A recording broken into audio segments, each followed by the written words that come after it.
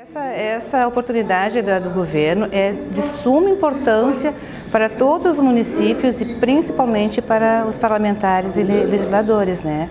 Porque aproxima tanto os vereadores do, uh, do governo quanto a própria população, que ela vai começar a ficar inserida né, e mais participativa das decisões do governo e mais, uh, digamos, que ela vai ter mai, maiores informações a respeito do trabalho do governo e começar a entender todo o sistema de como participar dentro dessa conjuntura que é a nossa democracia. A implementação né, do gabinete digital aqui no Rio Grande do Sul é, é, é uma, uma, parte, uma, um processo muito importante né, no, no, no, sistema democrático. Primeiro pela, vamos dizer, pela coragem do governador de, de, de, sair na frente e fazer isso. Né?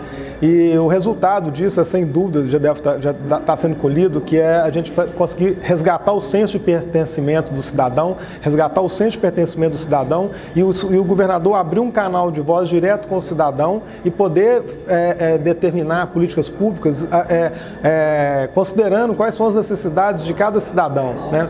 É, isso a meu ver, é de uma extrema importância para colaborar no resgate né, dessa credibilidade do sistema político que a gente tem, para que as pessoas possam enxergar o governador e os governos de uma forma mais próxima e não como algo intocável, algo muito distante. Né?